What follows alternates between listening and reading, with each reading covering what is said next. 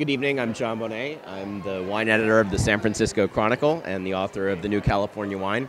And uh, we are at the Napa Valley Film Festival tonight, and uh, I brought uh, some of uh, Napa's most fun folks and um, the victims of my endless reporting for the book.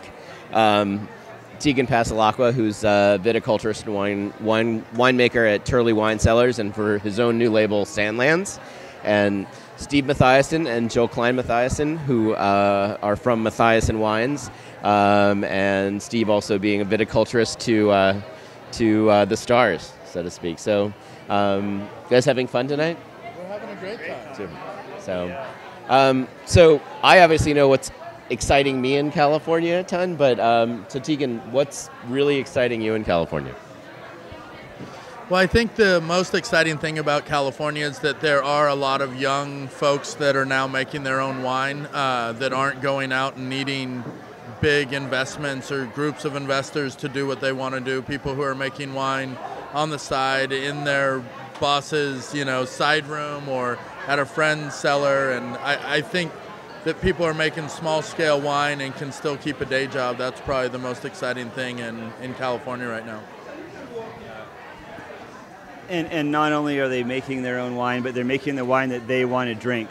Right. And, and that's, that's really huge because the difference between making wine you want to drink and making wine you think someone else would want to drink right. is the whole difference. And, and the, the, so, I mean, there's so many, the book is the new California wine, but it's not a type of wine. It's, they're all totally different because they're all personal expressions of either different sites or different people's visions of what they want, what they want to drink, what they believe in, and so the diversity right now with wine is unbelievable.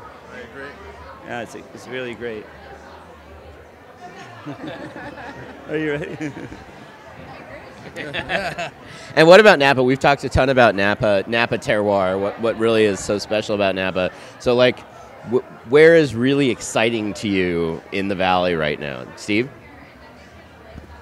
Well, the most exciting place to us personally in the valley is our backyard. because we actually managed to, to finally, 2006, buy our own vineyard, as you know. And, and um, it's not maybe the best terroir in the world, but it's the most special terroir because it's ours. And we finally gave us a chance to do some of the varieties that we really wanted to do. You know, Refosco, Schioppettino, Ribolla Gialla, obviously, you know, Cabernet Franc. And, um, you know, Cabernet Franc is not quite as esoteric, but, you know, with the least vineyards, we can't really do these things. And and everything we're trying to, you know, surrounding the vineyard with fruit trees, surrounding the vineyard with berries, and and and bring, you know, it's. Um, I do believe that those rub off onto the flavors of the wine, and it's also just part of the atmosphere. You know, you know, you you. The last time I checked, making wine's not a get rich quick scheme, and so you're doing it because of the passion and the love, and and so having a peach at the end of your grape row is um, there's a satisfaction there that you can't go by. It's just inherent to having the ability to have a place. And so that's where we're excited. Well, and I think the most exciting place still in Napa Valley would be Howell Mountain, and it's just because of the Napa Valley AVA system and how, uh, I don't know, misinformed it is, where Howell Mountain is the one AVA that actually really means something. It has an elevation regulation. It has very distinct soils and very distinct growing se- seasons. And I think most other AVAs in Napa, unfortunately, are more political boundaries. And you know, you think of a place like Oakville, and you think of how many like floodplain vineyards there are in Oakville, and then how many special vineyards there are on the East Bench and the West Bench, and it really uh, dilutes Oakville as a as a appellation, in my opinion, because you have so much that isn't what Oakville's known for. So I, I think that thing about Howell Mountain is that Howell Mountain is Howell Mountain, and it's very distinct and has different growing conditions, and it's you know I know they've upset some people because they can't you know be in the, the AVA, but I think it actually is the strongest AVA for that reason. And you make you make Zinfandel from Howell Mountain. We make Zinfandel, uh, Petite Sirah. We, we also grow some Roussanne, and we have some Cabernet from Howell Mountain I always like to tell people when you think about Howell Mountain, I don't think about the wines we make. I mean, I think about, you know, the Beringers and the Duckhorns and all these classic wines that everyone goes, wow, those are amazing wines. And the wines were more Howell Mountain than Merlot. You know, these were, I mean, Howell Mountain obliterates the variety when you grow it up there. It can be Petite Sirah, it can be Cabernet, it can be Zinfandel, Merlot, Grenache, and it to everyone, it's it's not the variety, it's Howell Mountain. You think? What do you think? Pritchard Hill should be part of Howell Mountain. How would you differentiate Pritchard Hill from Howell Mountain? Well, Pritchard Hill doesn't re- the, reach the height heights of Howell Mountain. I mean, I think you know where Jay Heminway's vineyard at Green and Red. That should be, you know, to me, it's the Chateau Grillet of the Napa Valley. It's called Chiles Valley. Back to the issue with the Napa Valley appellation system, it's called Chiles Valley. The vineyards go from 1,200 to 1,700 feet. It's wedged in between Pritchard Hill and uh, Howell Mountain, and it's Chiles Valley. I don't know how valley it is when it's at 1,700 feet. And Pritchard Hill, I don't think it should be part of Howell Mountain because I don't believe the soils are the same, and I don't think it has the elevation that you get in Howell Mountain. I mean, you know, a good amount of it's right at the base of what people consider Howell Mountain at 1,500 feet. So, the Chateau Grillet of Napa Valley. That's that's good. That, your eternal quote. That's in the next book. so so just like quickly tell us about both the wines you're making with Turley and uh, the new project, and then Steve, uh, I'm going to pester you to tell us a little more about Matthiasson. So the wines we're making with Turley right now, we're making about we're gonna in 2012 we're gonna bottle 32 different wines throughout California. Uh, about 25 of those Zinfandel one Catalan blend of Old Vine Carignan and Old Vine Grenache from Paso Robles, about five Petite Sirahs, a white wine, and the rest Zinfandels and a Cinsault.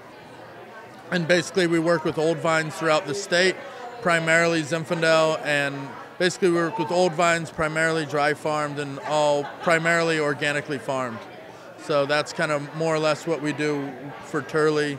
For my own brand, Sandlands, I'm I, I can't make Zinfandel, but I'm trying to follow the, what I've learned at Turley, and I'm working primarily with old vines, but with different varieties like uh, Chenin Blanc and Carignan and Grenache, and you know you kind of have to scour around to find things that work to fit your philosophy. Now, 32 wines. So I was thinking that we have eight. Well, we have. I think we have ADD with 12 wines. Right. And so 32, okay. Jill was going to um, cut me off at, I thought maybe like 16 or something like that. Yeah, well, don't think you're going to get to 32. yeah, so, you know, so we're, you know, we have our, our you know, we, we tend to make, our wines are, are um, classically styled, good acid, moderate alcohol. We really emphasize the freshness, try to, try to find a balance between freshness and richness, but freshness is paramount. Um, love working with different varieties. So you know, our flagship wine is really our white wine. It's a blend of Sauvignon Blanc, Ribolla Gialla, uh, Semillon, and Tokai Friulano. Uh, Ribolla Gialla is from um, Friuli, Italy, in Slovenia area. Um, our red is you know classic. It's Merlot, Cab Sauv, Cab Franc, Petit Verdot, and Malbec. And then after that, everything is a single vineyard, single varietal a couple different Chardonnays, a Merlot, a Cab Franc. Um, but the Cab Franc is not your normal Cab Franc. It's like usually about 11.5% alcohol and very light, more Pinot-like, very aromatic, feminine. We really, with all the wines, we're going for the feminine, more the feminine side of, of, um, of, of the sites and of the varieties. Um, our, um, we love Italian varieties, um, cool climate Italian varieties like Refosco, Schioppettino, and Ribolla Gialla. Um, we have a new brand called Tendu, which is a total labor of love because the whole idea with Tendu is to make a wine that an average like plumber or dishwasher can afford to drink. And so um, for that, the fruits from the Central Valley, it's the price of the fruit allows us to make a real handmade wine, but it's affordable. so, yeah, Vermentino, yeah, exactly. So the white's Vermentino, the red is Aglianico, Barbera, and Montepulciano. But really, for us, we've been part. Jill and I have been. Jill before I when I was in grad school, Jill was working in sustainable agriculture for the with the community alliance with family farmers, working early early on in the farmers market and the CSA movement in California. And so for us, we grow our own food, fresh vegetables, fresh out of the garden. So the food, the wine, is really um, the balance of the wine, the freshness, the lightness of the wine is to go with fresh, simple, clean produce that you got at the farmer's market or that you grew yourself. And, and it's really a totally different thing than a wine you're gonna you're gonna get with a big steak with a deep béarnaise sauce with mushrooms. You know, it's a very different thing. And so and so um, so all of our wines, whether they're Cabernet or Merlot, are really about fresh produce, the stuff that we can we, we life here in California, which is where the produce comes from. So I'm kind of amazed Chenin Blanc took this long to uh, to enter the conversation. Um, you you have kind of a thing for Chenin Blanc. So so what what is it, and where where from your end is there a great Chenin Blanc in California? What what makes it the thing for California? Well, I think the the thing about Chenin Blanc is how versatile it is. It, it, it really adapts to its climate and its soil as well as any other white grape that I've, I've ever worked with. Uh, you think of places like the Swartland of South Africa, but you also think of places like Chalone and you think of places like Pritchard Hill with Chappellet. I mean, these are legendary Chenin Blancs, and you think that To Kalon had a lot of Chenin Blanc planted back, you know, up until the 1950s. And it's a variety that adapts. It's a workhorse variety. I think its only fault is that it's not focused as much on fruit, and it actually has secondary characteristics that you know people are dying for in white wines now. But I think you know there was a time that we kind of lost that uh, desire to drink wines like that.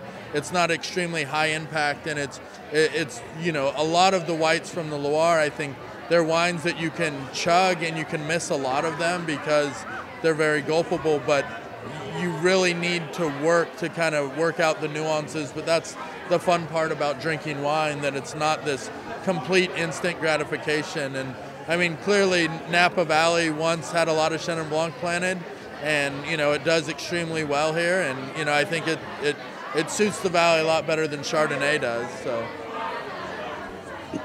I don't, I don't know if you know that the first vineyard I ever worked in was Chenin Blanc. I didn't know that. Yeah, down in Merced, and this, these were 12 foot rows. I had my Toyota pickup. I could drive down the rows, and there, and you needed to because each the blocks were um, a quarter of a section, so that was a quarter of a square mile. And you drive down, and then if it was really, you know, we were walking it to check for bugs. Right. That was my job was to check for bugs. I, you get underneath the vines like as a canopy and like hide in the shade. Right. You know, that was so that was the Chenin Blanc that you know it's like an abomination of Chenin Blanc really in the sense that it was like you know because it has the ability to get big clusters. And so I, I remember the first time I had like a real Chenin Blanc, I was like, no, Chenin Blanc's a good wine. Yeah. Really, I, Chenin Blanc, you know, because that we would grow it was Grenache, Chenin Blanc, and French Colombard, and I had no idea that Chenin Blanc was a good wine, was like made good wine. It was a like an epiphany. Right. And so, you know, e- every time I hear that word, I'm like, wow, it's actually a good wine. I would say or Grenache, but um, so so I think the other thing um, a lot of folks don't know is is that Jill is the most amazing orchardist um, and jam maker. Um, and lots of other things. But so, in addition to grapes, um, you guys farm all sorts of stuff in Napa. So, what, you know, what do you particularly love farming here? What what makes it such a kind of a great place for this diversity of uh, of produce? Well, when we moved to Napa, we were living in Davis, and Davis is just kind of a bread part of the breadbasket of America. Really, we were just used to having access to all kinds of fresh produce, amazing farmers market, surrounded by um, farms right in Davis, and Napa really just grew grapes when we moved here, and it was really hard to find locally grown produce at all. And uh, we had always wanted to farm. We really always wanted to farm fruit trees, even though we love wine. And um, we had this opportunity to plant a fruit orchard on a place that was a vineyard that was wasn't suitable good good vineyard land. So. Um, we planted this fruit tree on, on leased land. It was a, a fruit orchard. It was peaches, plums, nectarines, pluots, figs, um, just variety and the most amazing fruit. I mean, the reason that Napa grapes grow so well here and the quality is so good, uh, the soil and the climate, you know, the the hot, warm, sunny days, the cool nights to bring out the flavors, the sunny days to bring out the sugars is exactly why the peaches taste so good here. And we just get such vibrancy in the peaches. But the other thing is, I only sell peaches in in the Napa Valley. I don't export them all, so I pick everything when it's dead ripe. And commercially, what happens is when you pe- pick a peach tree, when 10% of the peaches are ripe, the whole tree is plant is, is harvested at once. So everything else is underripe when it's harvested. And what I do is I pick just the ripe fruit from that tree. I'll go back to the same tree three or four or five times to just keep picking the fruit as it's ripening. And then I bring it all to the restaurants in Napa and the farmers market, and it's um, amazing. And everything that's not like top quality that goes to for sale as as fruit, we turn into jam, and uh, we just kind of have fun with the jam. We experiment every year. This year we made Cabernet jelly. You know, it was like, why not? You know.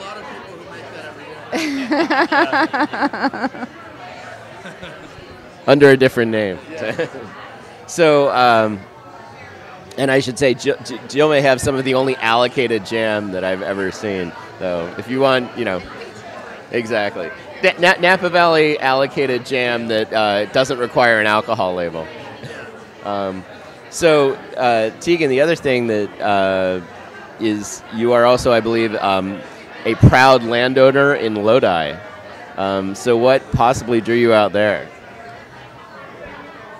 Well, I, uh, for my day job, we work now with five other vineyards out in Lodi, and uh, Steve worked there as well. And there, you know, it really is an area where there, it's, it's full of farmers. And I think the thing that they're missing, and a lot of people in Lodi give me a lot of uh, grief about it, is that uh, there there are very few wine growers out in Lodi, people who are actually connected to the final product. So they, they may grow grapes and they grow them for tonnage and sugar, but they're they're not directly linked to the quality of wine. And with working for Turley, we realized that you know we farm a vineyard that we lease that we average about three quarters of a ton to the acre, and the vineyard right next to us averages about 11 tons to the acre. And you know, to me, the site, you know, if the vines were all healthy and young, it probably is an a, a ton and a half to the acre site.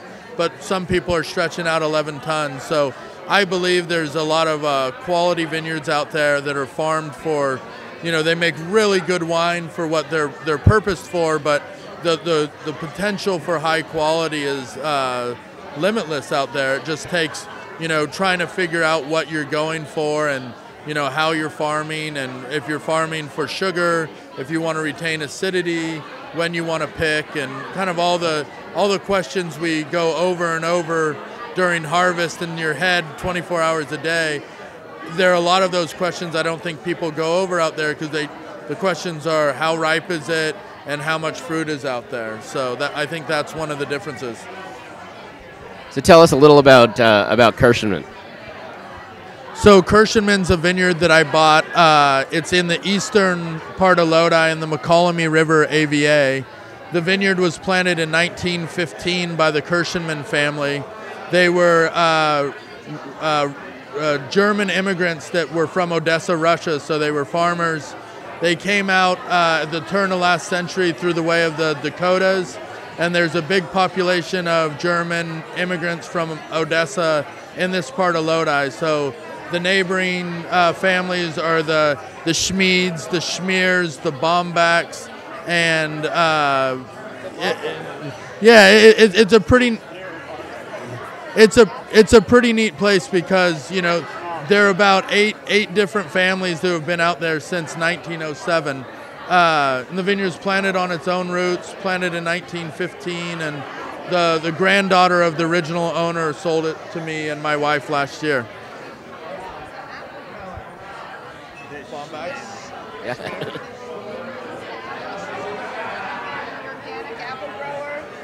I don't know. It's also Probably growing grapes now. well, no, he grows apples. And he sells it very The other neighbor's Canole. I call it Canole, but it's, they call him Knoll. No. So, so what's what's the one thing that you would love to see us doing in California that we're not doing right now?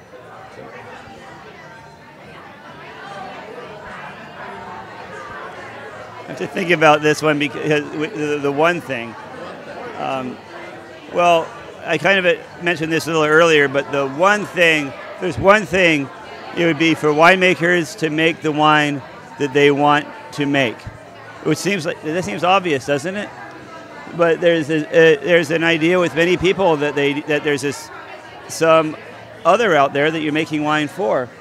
And um, but when I taste wine made by a winemaker who's who loves the wine and that's the only thing they want to drink, and they're drinking their wine everywhere they go, and they bring their wine to dinner with them, and they, I, I love those wines, and the character of the person comes through just as much as the character of the site, and I'd love to see more of that. I really would love to see more of that. I'd love to see more people picking up and saying, "I have a vision. I found a piece of ground I love, and I'm not going to let anything stand in my way. I'm going to make that wine." Well, and I would I would agree with Steve, and the only difference is that I think people should be proud of where they make wine, and more more than anything, you know, it's it's making wine from a certain region is like having an accent, and certain people when they travel they're embarrassed of their accent, and I think keeping your accent is something that's very very important in California and in the New World. It's something we've lost. We we haven't wanted to you know, every wine that's made in California has a zip code, it has a place that it's from. And for people to hold their head up high and say, you know what, I'm proud of where this wine's from, and I'm proud of my accent, and I, I want people to understand that, you know, this wine that I make, it, it's an agricultural product. It's it's not something that's mass produced and sold in a supermarket. Like this comes from a place, and you know, if, if it comes from a place that's influenced by the Delta or the Bay fog, or if it comes from a place that's in, influenced by, you know, the hot Fresno Valley, that's fine. But people embracing where something's from, and I think it really takes consumers to ask the question, like, where is this wine from, and does it fit what I think it should be? Like, you know, should a should a Merlot from the Sierra foothills or a Cab Franc taste like a Cabernet from Napa? I don't think so, but you know, some people would make it to taste that way. It just also kind of reminds me that uh, we should just think of more varieties that are appropriate for the climates that we're that we have here. I mean, we have this thing that you've talked about, Jon. You know, the the French varieties really caught kind of favor and popularity but the climate really doesn't in, in parts of california aren't the best suited for those varieties. And we have this vineyard um, that we that we manage in the central valley. It's further east of napa. It's regularly 105 degrees there for probably 45 days of the summer. And um, the vineyard that we manage is was Mer- planted to merlot and there's still Merlot in the neighboring vineyard. We grafted this vineyard over, but the Merlot just suffers. The water is full of boron, and the Merlot just suffers. And we grafted a Vermentino along with a bunch of other stuff. And we went out there to visit it when it was 110 degrees. It was the middle of the day. The Merlot was just like melting and the Vermentino was like, "Woohoo! It's a party! I'm loving it here. Like, how much, how more can you bring on? You know?" And and we just there, there's so many different varieties, and there's so many more that are appropriate for the climate that we have here. And I think there's there's a real opportunity to explore what we could plan here. So just wrapped up 2013 harvest, kind of fast, quick, relatively easy. So what do you guys get to do now to uh, take a break?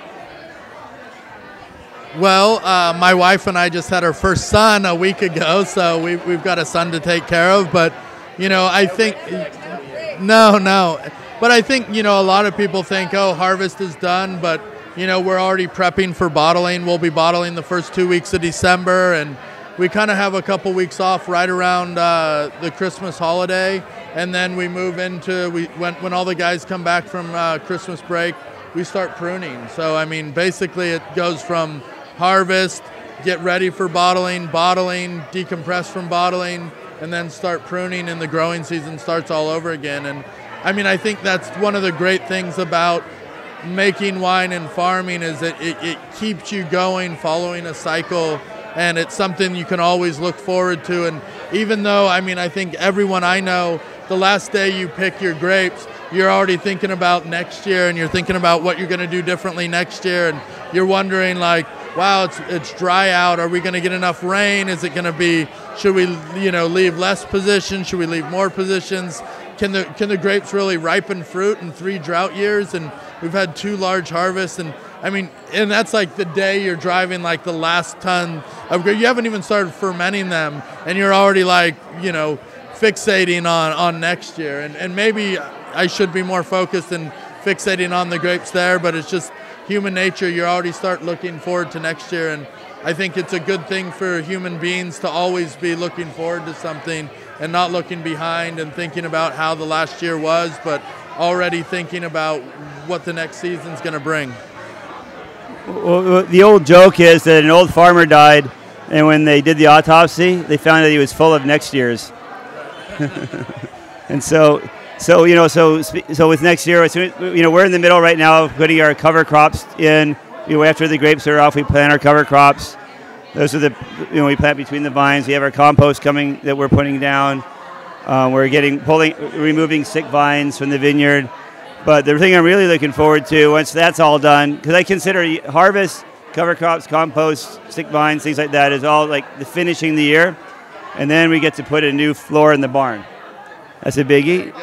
You get a new floor in the barn, get that done. It's a simple pleasures. Very simple, but you know, get a new floor in the barn. Been looking forward to that all year.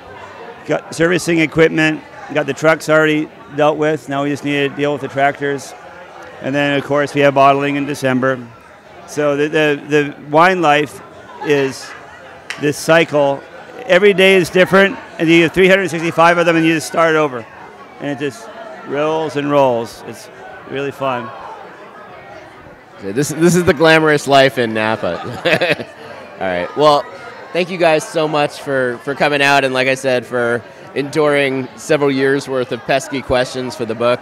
And, uh, you know, have a fantastic holidays. And, and serious congratulations to you and Olivia. So, so cheers, guys.